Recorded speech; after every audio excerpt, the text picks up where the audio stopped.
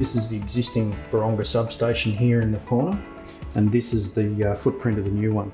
There's five transformers, four reactors, two synchronised condensers. This thing is, is huge. Now we're at the bulk earthwork stage, completing the bench. The guys are shifting somewhere between 2,500, 4,000 cubic metres of material on a daily basis and compacted. This is the biggest substation in Australia. I don't think any project manager in the electrical uh, industry can say that they have worked on a, on a project of this scale. After the bench is complete, we start with the uh, foundation works, followed by the mechanical services, electrical services, and ultimately commissioning and handovers. This will be the main hub for the connection between South Australia, then down into Victoria and back into the eastern part of New South Wales.